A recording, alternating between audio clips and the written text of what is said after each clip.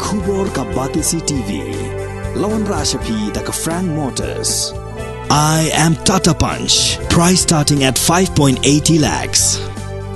Ringkat bat ka net foodish. Ordar mapi ngin wan ra amangi hakir dob yeng jongpi. u menteri rang ba ka jilau u konrad kongkal sangma ula ong ba ka jingpen bana jong ka sorkar halor ka CRPC bat ka CPC kim la ban penyap iki kendon jong riti sensyar ka blapun ke bor limba ka kernet ke bahan ula ong ba ka riti sensyar ka kam klan ban ya ka an kum tak la bor ha ka para fu bat 5 ya ulat ka jela bo untong ya unong bishar. Ha ka yeng bishar ki district council bat kamla ban yap ha ka jingpen bana jong ka sorkar ya ka CRPC bat CPC kani ka jing kran jong Conrad kadai hadian balami ka jing persya ya ka Khasi Hills autonomous district council. Halor ka te ka jingpen bana jong ka sorkar This basic decision that has been made by the government to come out with this notification has been done purely to complete the process of segregation between the executive and the judiciary.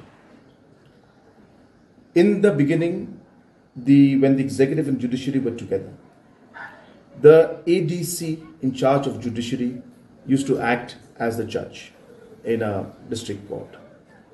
And hence, the powers were derived from a 1937 law or rule that was passed, which mentioned that the DCs will act as judges.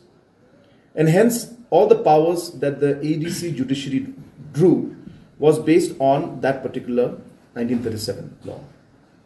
Now, when the decision was made to bifurcate the ADC, the, the, uh, or se- segregate the judiciary from the executive, we appointed judicial magistrates. The 1937 law does not mention anything about a judicial magistrate. But the segregation has taken place, so the ADC judiciary ceases to exist. And hence now we have what we call the judicial magistrates. The question arises that how or from where does the ADC, uh, the judicial magistrate, draw their powers from? It's as simple as that. And hence, in order to allow the, the judicial magistrate to continue what the ADC judicial was doing, this notification had to be done.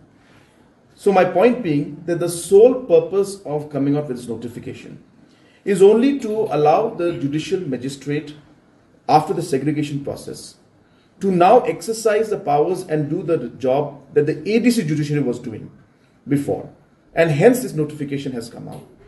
It in no way impacts the functioning of the ADC, uh, of the district councils, and in no ways uh, is going to over uh, uh, their power. If tomorrow is there any complication or confusion that arises, in case, which I'm pretty sure it will not, in that case, the district councils can easily go to court. And the section 4 and para 4 and para 5 of the 6th schedule clearly defines the powers that the district council courts have. And hence, even if this notification were to be misread in by somebody else in the future, the constitutional protection is there, which is fully there with the district councils, and hence there is no question of any kind of, uh, you know, uh, uh, interference or any kind of overlapping uh, or getting into the jurisdiction of the AD, of the district council courts, and they will function as they were functioning before. And now the judicial magistrates will simply take over the work that was being done by the ADC judiciary, and this had to be done because now the ADC judiciaries don't exist. It's the judicial magistrates. And since they don't have powers, they can withdraw from the 1937 law, and hence this notification is required to ensure that the, the district session courts can function and the ju- judicial magistrates can exercise their powers. So it's a very simple thing. We have called the district councils, uh, you know, a couple of times, and once I have chaired the meeting myself, and we have shared these concerns and points with them, and they have understood the whole point. So now the question of, uh, you know, them mentioning about notification of exemption and all, it's already is exempted.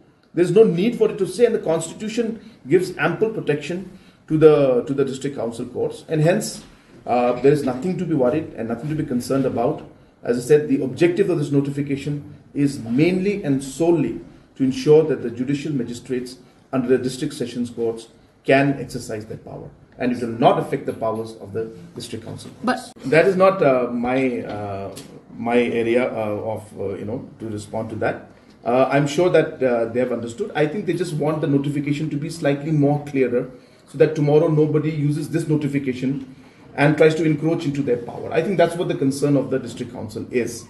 But my reply to that is that see notifications we can keep changing the words and keep changing and adding to it. But the, ultimately, the biggest protection that they have is the constitution and the sixth schedule itself.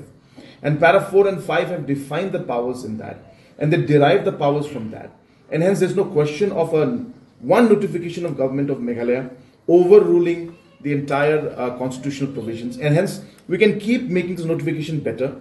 But it's, it's at 99%, for example, and they want it to be 100%. So I understand their concerns. But let me give the assurance to everybody that uh, with this notification, there will be no question of any kind of encroachment or interference into the functioning of the courts that are run by the district council. But- it prevails over the state laws. So the constitution has clearly mandated uh, in para 4 and 5, which I'm repeating, uh, to give the certain uh, powers. The governor has the powers to give this, I mean, to appoint judges in the district council or other judges and give them the necessary powers. And that cannot be superseded by a notification done by the government of Meghalaya the constitution will always prevail.